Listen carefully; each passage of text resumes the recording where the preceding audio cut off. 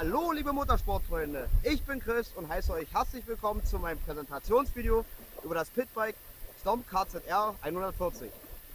Wie man auf den ersten Blick erkennt, ist nicht mehr das Original Plastikkit dran. Nein, das habe ich selber gewechselt.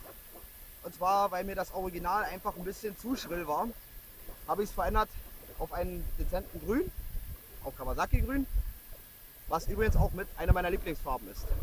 So, Jetzt kommen wir zu ein paar kleinen Fakten. Und zwar ist dieses Pitbike mit einem 140 Kubikzentimeter SRCZ 40 Motor ausgerüstet, welcher mit dem Moik Vergaser und dem 28 mm Big Bore Auspuff sage und schreibe 15 PS liefert.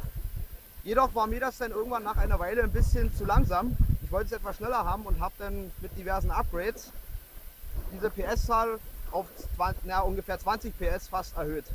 War natürlich das Ding dadurch jetzt natürlich abgeht wie ein Pfeil. Ja, ein kleines Fazit von mir. Also ich kann dieses Pitbike sehr empfehlen. Es macht einfach nur Spaß. Die Dämpfer sind verstellbar, je nach Zug und Druck, wie man es haben will. Ja, und ich sage mal so, mit ungefähr Preislage von 2.000 bis 3.000 Euro kann man schon investieren und man hat auf jeden Fall was dran, man, man hat eine Menge Spaß dran.